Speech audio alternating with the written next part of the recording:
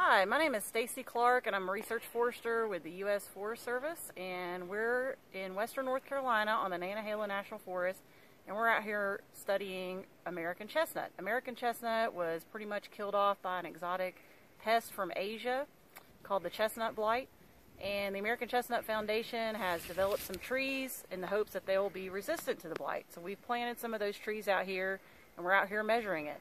These trees were planted in 2011. They're in their eighth growing season, and we, we're out here measuring the height and looking at if they have blight or not.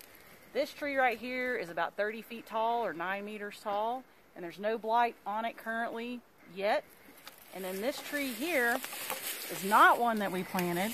It's actually a, a chestnut sprout that is a native chestnut sprout from a stump, and it has the blight on it, and you can see the fruiting bodies, the orange fruiting bodies on the stem.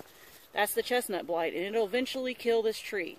So we're hoping that these planted trees will be resistant and eventually we'll be able to restore the American chestnut back to the eastern hardwood forest.